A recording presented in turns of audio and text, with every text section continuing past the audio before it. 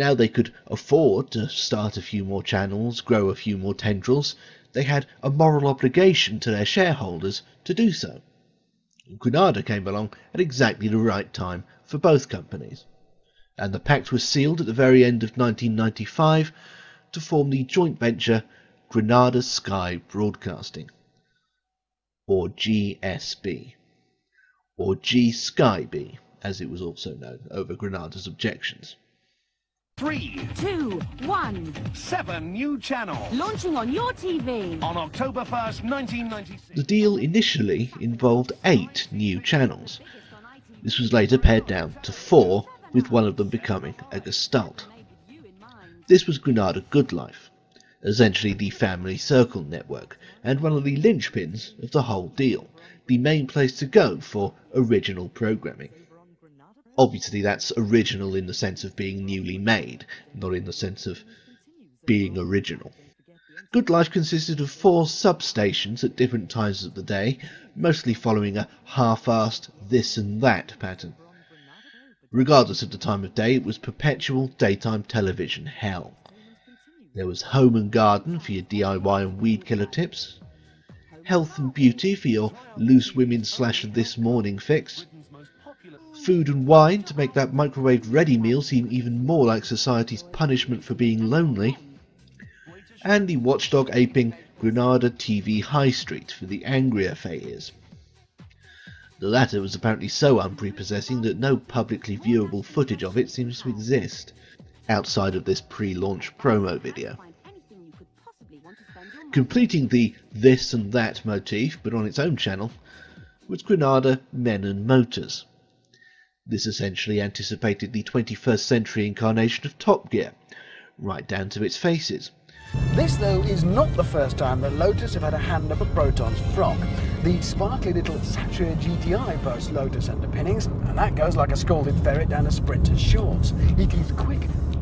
Except that it skipped the opening few series when it was good and went straight to its leering, pre-epic, self-satisfied, racist later years.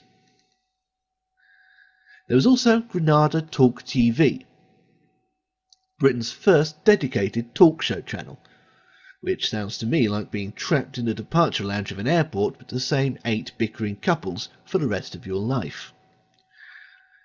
This was mostly notable for launching the careers of Natasha Kaplinsky and Sacha Baron Cohen. The latter presented the Daily Kids show in the manner of a terrifying Middle Eastern elemental hosting the Big Breakfast. Hey, the first ever F2F! I'm filming it, I'm videoing it, I'm gonna share it to my parents. This is history. We've been boo boo boo, give us some noises, give me some noise. Oh, yes! Hello! I like that little fantastic little rapper. Hello, I'm Sacha Baron Cohen and welcome to F2F, the first show on British television where every day you get to make the programme, yes! The former was the Glamour Stooge on the Paul Ross show, which is undeniably worse than being the Glamour Stooge for the Daily Mail, along with most other female newsreaders to this very day. Still, at least it had in-vision continuity, albeit the most oddly bleak in-vision continuity I've ever seen. At 3 o'clock we had Showbiz UK with Andrea Boardman. Today she's talking to Jason Done. Now you might have seen him snogging on The English Patient. Well now he's PC Brian Rainford in LWT's smash hit Wokenwell. On the show also... I don't know what it is, but there's something oddly desperate and needful about it. With that tiny space, I get the feeling he's trapped and being forced to read links at gunpoint. I feel like ordering a chopper to airlift him to safety. All very, very good reasons to stay tuned to Talk TV. But the flagship G Sky B channel was undoubtedly Granada Plus. With UK Gold having rehabilitated the concept of repeats, everyone with a back catalogue was falling over themselves to get space to re-air them on satellite, with all new adverts and everything.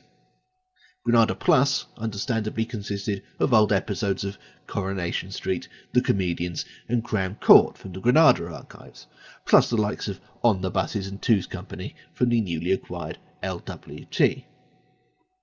Plus was easily and probably inevitably the most successful G Sky B channel of all, and actually benefited from Granada's continual franchise gobbling.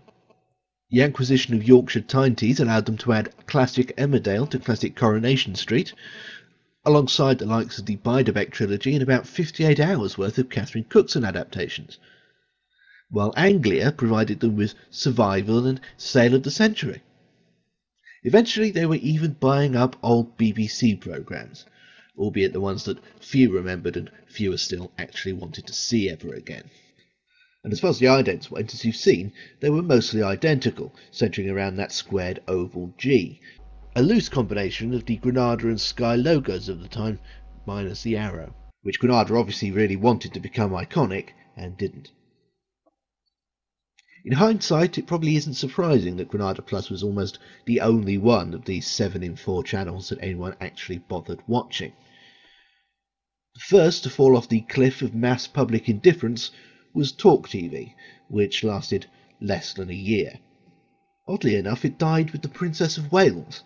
The station was replaced with rolling Sky News coverage on August 31st, 1997, and then never came back again and no one noticed.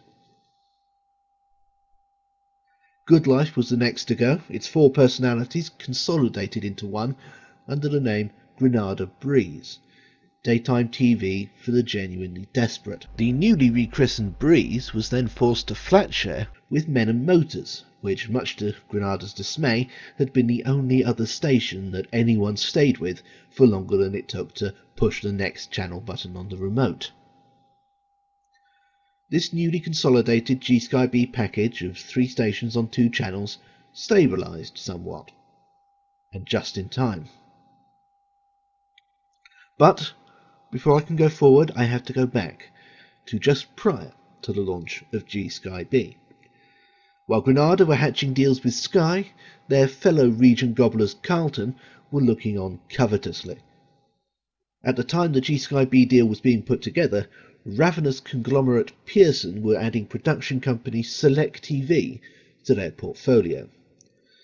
SelecTV had also run a minuscule cable channel of the same name, in which Pearson either weren't interested or were prescribed from keeping. Enter Carlton. Not exactly a partnership with Sky, but it was a foothold. Before the end of the year, Carlton had already muscled into SelecTV's downtime with the Carlton Food Network.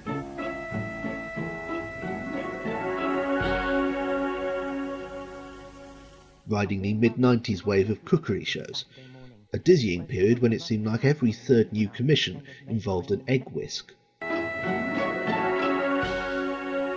Initially, it was on for a paltry five hours a day, noon till five, until 1997, when its hours were extended from nine till five, and where SelecTV once was, now sat Carlton Select.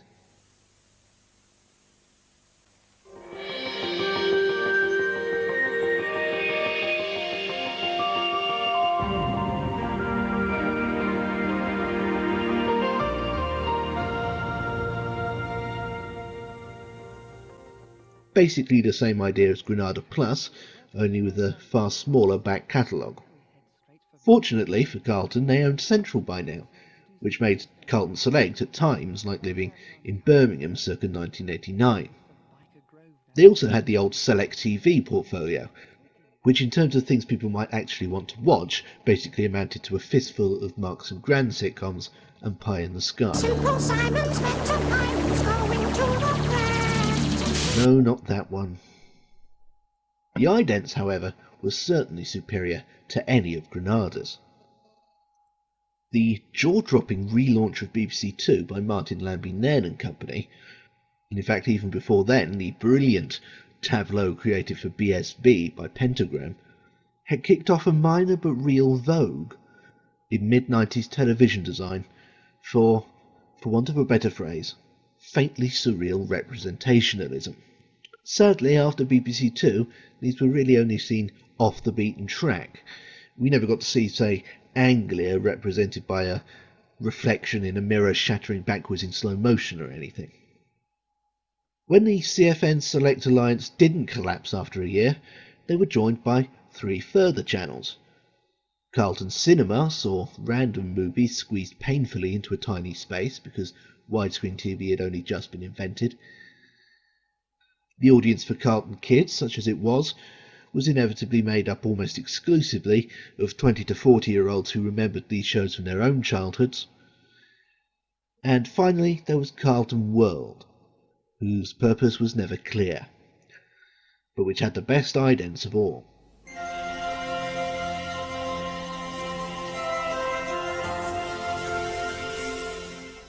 I love this kind of thing, centered on real props and in camera effects. I've eulogized about this before, but anyone can build impossible things with a computer. But to use real objects with real weight and dimension, and only then take them to CGI world in post production, that really does make a difference. It adds an extra, undefinable touch reminiscent of the work of the late Storm Thorgerson and Hipgnosis. At their best, they created, within reality, a split second in which an impossible image could exist. And idents like these, or Lambie Nairn's for BBC Two, pulled off the same trick. It's just a shame about the station, really, because Carlton World seemed to exist mostly for the sake of it. Its programming was largely factual, but beyond that, the main difference between it and Carlton Select was the old original program, or more often, newer repeats. Admittedly, that's only as far as I can tell, because very little of Carlton World remains to this day. It must be one of the least remarked upon channels in British television history, and an almost criminal waste of really good idents.